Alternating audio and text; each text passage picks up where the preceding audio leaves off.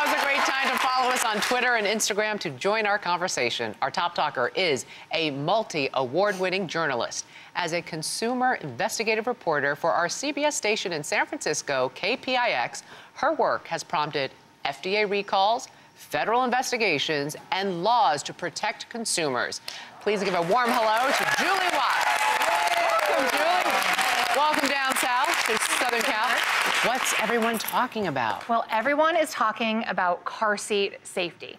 So, you know, we this started off with uh, a conversation about green car seats, right? Mm-hmm. Used by very popular with Jessica Alba, Jessica Simpson, lots of mm-hmm. celebrities, the Kardashians. Mm-hmm, but it's evolved into something much larger. The concern really impacts really all car seats, including the ones that you may be using at home.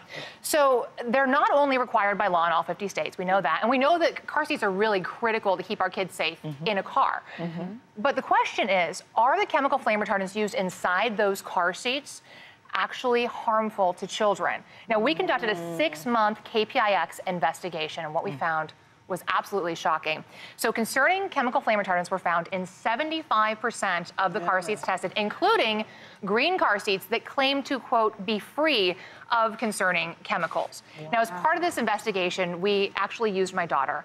And I have to tell you, as a mom, I was horrified to find out that both she and her car seat tested positive for the same cancer causing chemical that was removed from children's pajamas back in the 70s due to health concerns. Wow. Listen to this, guys. Her levels went from 60 parts per billion in her body while she was using the car seat to nine parts per billion 24 hours after her last exposure to her car seat. Okay, so so it went away right? right? away, though, is what you're saying. Right. So the half life of this particular chemical was eight hours. So that was the actual expected rate. So fire scientists say uh, real world car fire flames are too large for these to be effective. Manufacturers say they have to use them due to federal regulations. Regulators say that they don't have any evidence they provide a safety benefit in car seats. My question for you ladies is Do you think parents should have the option to buy a car seat without flame retardants, or is the possible benefit worth the risk? No way. Like you said, in the real world, if the car's bursting into flames, this is they're testing a one and a half inch flame to keep it from spreading. They're not testing